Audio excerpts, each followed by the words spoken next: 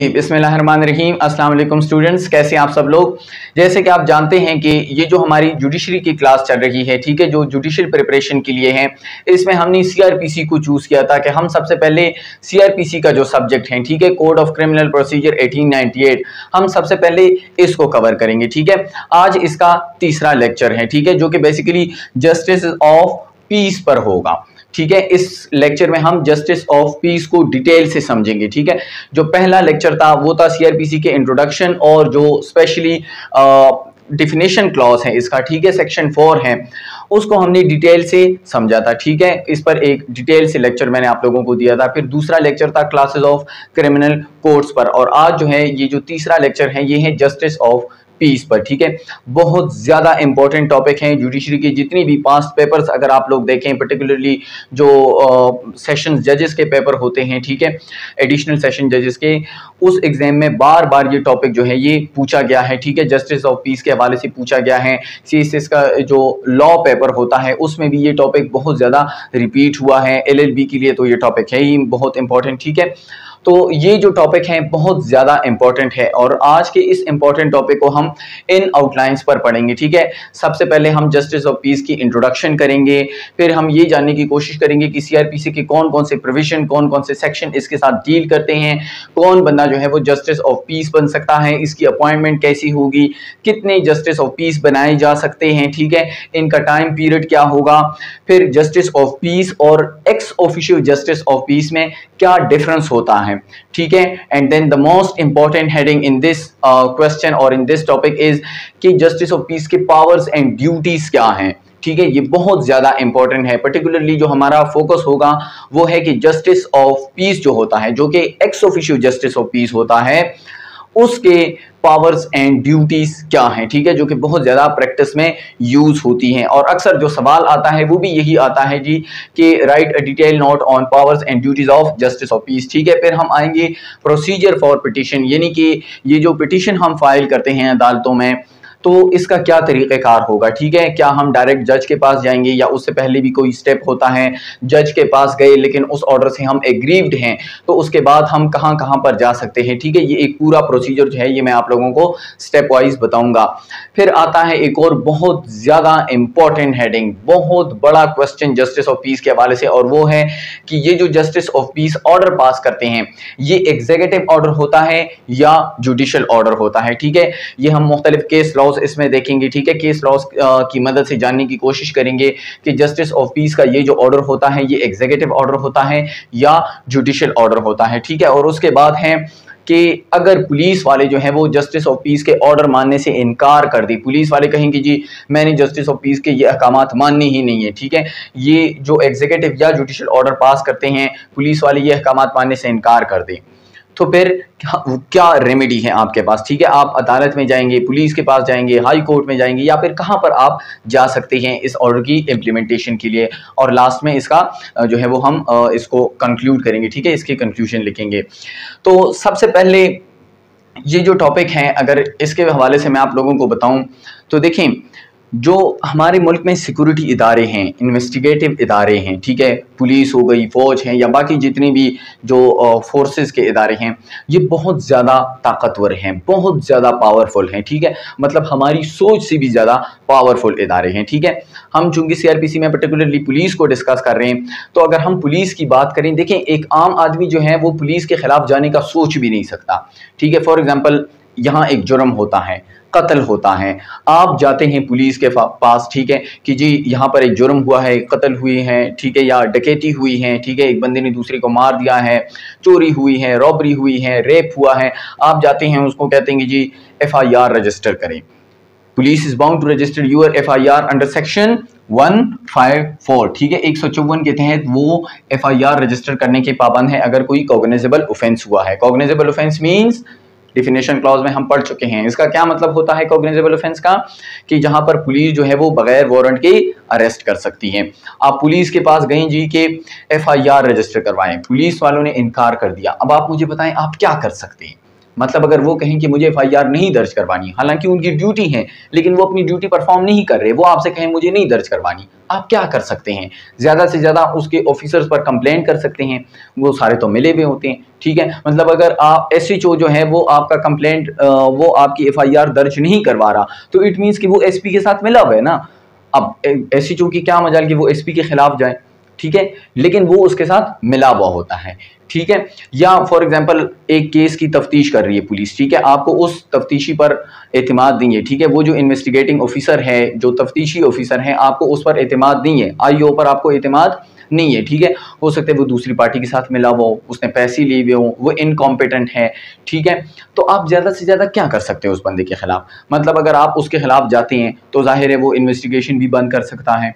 ठीक है? वो कहेगा, जी, मैंने इन्वेस्टिगेशन करनी नहीं है, यहाँ कोई जुर्म ही नहीं हुआ तो आपका नुकसान होगा। या आप, अगर आप उसके खिलाफ नहीं जाते कहीं पर, ठीक है? तो वो इन्वेस्टिगेशन वैसे ही ख़राब कर रहे हैं, ठीक है? वो दूसरों के साथ मिला हुए तो भी आपका नुकसान। दोनों सूरतों में आपका नुकसान हो रहा है, ठीक है? या पुलिस अगर अपने इख्तियार से तजावज़ करती है, ठीक है? अपनी अथॉरिटी से बियॉन्ड चली जाती है तो आप क्या कर सकते हैं? एक आम आदमी पुलिस के खिलाफ जाने का सोच भी नहीं सकता। उसको पता है, आज तो मैं चला जाऊँगा इसके खिलाफ, लेकिन इन्होंने मेरा जीना यहाँ पर जो है ना, वो हराम कर देने, ठीक है? इन्होंने मुझे जीने नहीं देना। किसी भी केस में ये मुझे अंदर कर सकते हैं, ठीक है? और आजकल तो ये नारकोटिक्स के केसेस बहुत ज़्यादा हैं, ठीक है? चर्च में आइस में इसको अंदर करवा देंगे। पुलिस के लिए तो कोई मुश्किल नहीं है ना।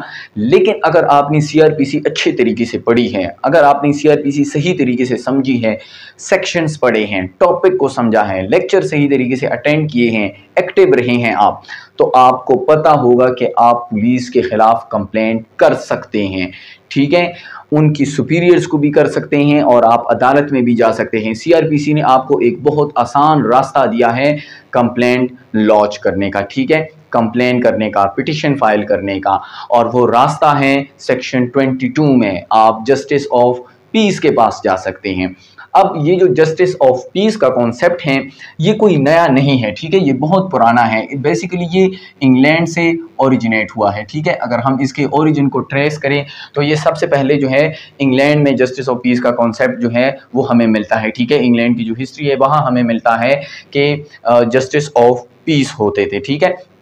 अब ये जो इंग्लैंड से पहले बेसिकली इंग्लैंड में ये चीज़ पहले लाई गई, ये कॉन्सेप्ट पहले वहाँ पर आया, ठीक है? लेकिन with the passage of time बाकी ममालिक ने भी इस कॉन्सेप्ट को अडॉप्ट किया, ठीक है? और जो जस्टिस ऑफ़ पीस का रोल था इंग्लैंड में स्टार्ट में, ठीक है?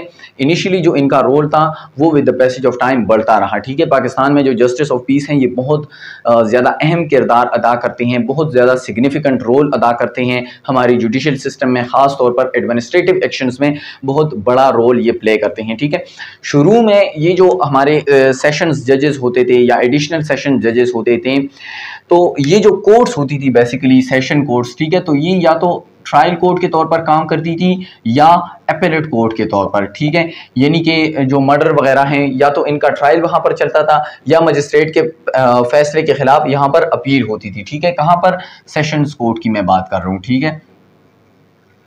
लेकिन बाद में इनको वो इख्तियार भी दे दिए गए। वो फ़ंक्शंस भी सेशन जजेस और एडिशनल सेशन जजेस को दे दिए गए, जो कि पेवरली एंड एसेंशियली पुलिस के थे। ठीक है? जो पुलिस के फ़ंक्शंस थे, उनके इख्तियार थे, उनकी ड्यूटीज़ थी, वो भी जस्टिस ऑफ़ पीस को दे दी गई यानी कि सेशन जजेस और एडिशनल सेशन जजेस को दे दी गई ठीक है? ये मैं आप लोगों को आगे बताऊँगा कि कैसे मतलब सेशन कोर्ट में बार बार क्यों कह रहा हूँ, मैं मजिस्ट्रेट क्यों नहीं कह रहा, ये आप लोगों को आगे खुद ही पता चल जाएगा, ठीक है? अच्छा जी तो मैं आपको बता रहा था कि इनको with the passage of time ये पावर्स दे दी गई। बेसिक वजह इसकी ये थी, जो लॉजिक थी इसके पीछे, वो यही थी कि आम आदमी फॉर एग्जांपल पुलिस से जो है, उसकी दाद रसी वहाँ नहीं होती, ठीक है? उसकी सुनवाई वहाँ नहीं होती उसकी बात नहीं सुनी जाती, ठीक है? पुलिस के सामने। तो एक बंदा अब पुलिस के ऊपर तो नहीं जा सकता, ज़ाहिर है मतलब उनकी सुपीरियर के ख़िलाफ़ तो नहीं जा सकता, क्योंकि उसको ख़तरा होता है। लेकिन अगर वो हाई कोर्ट में जाता है तो वो गरीब आदमी होता है। उसके बहुत ज़्यादा अखराज होते हैं हाई कोर्ट की, ठीक है, वकील करना और फ़ोटो कापियाँ करना वगैरह वगैरह। आप सब लोग जानते हैं, ठीक है, क्योंकि आप सब लोग अदालतों में जाते हैं।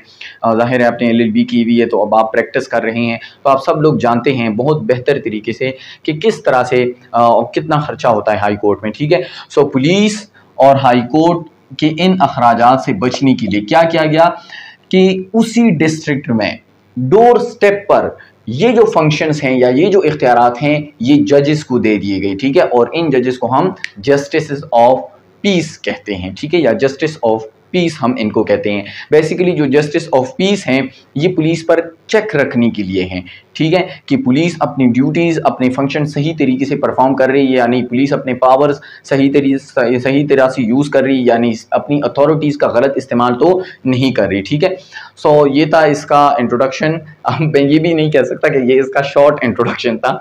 इंट्रोडक्शन एक्चुअली बहुत जो है वो मैंने लंबा कर दिया है लेकिन ज़रूरी नहीं है कि आप जो है वो इनको वर्ड बाय वर्ड लिखी या सारी चीज़ें लिखी ठीक है? मैं आप लोगों को सिर्फ़ माइंड मेकअप कर रहा था कि इस टॉपिक में हम एक्चुअली क्या पढ़ने जा रहे हैं ये टॉपिक किस हवाले से हैं? इसका आइडिया क्या है?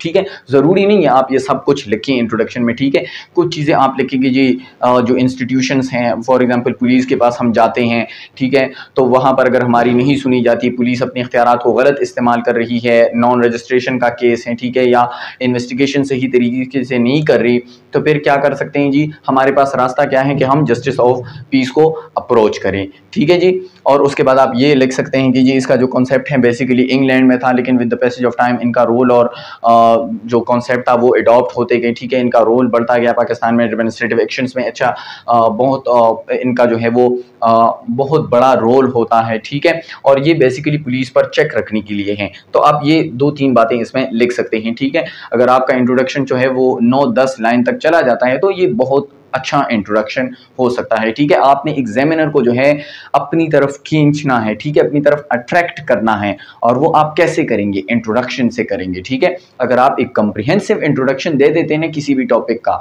तो ये आपका पेपर जो है, वो उससे ब्यूटीफाई हो जाता है। क्योंकि देखिए, ये एक बात तो श्योर है ना कि examiner word by word answer नहीं पढ़ता, ठीक है? इतने हज़ारों एस्पेरेंट्स होते हैं, फिर इनके इतने लंबे लंबे पेपर्स होते हैं, ठीक है? और एक पेपर होता भी नहीं है, कई सारे पेपर्स होते हैं। तो आपने अगर एग्जामिनर को अपने पेपर की तरफ़ रागब करना है तो वो आपने कम्प्रिहेंसिव इंट्रोडक्शन से करना है ठीक है? सो so, इंट्रोडक्शन आपका बहुत अच्छा होना चाहिए ठीक है? आप जो है वो इनके अपने अपने इंट्रोडक्शन लिखें और फिर मुझे आपने जो है वो सेंड करने हैं ठीक है? आप मेरे साथ शेयर करें व्हाट्सएप करें मैं भी उनको चेक करूँगा कोई एडिशन करनी हो उसमें सब्ट्रैक्शन करनी हो ठीक है? तो वो आ, मैं आप लोगों को बता दूँगा।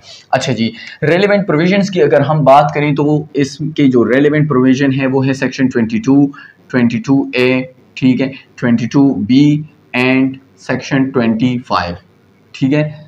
सेक्शन 25 ये इसके रेलिवेंट प्रोविज़न है। क्वालिफिकेशन पर आते हैं जी के जस्टिस ऑफ़ पीस के लिए क्या क्वालिफिकेशन है? कौन बंदा जस्टिस ऑफ़ पीस बन सकता है? तो अगर हम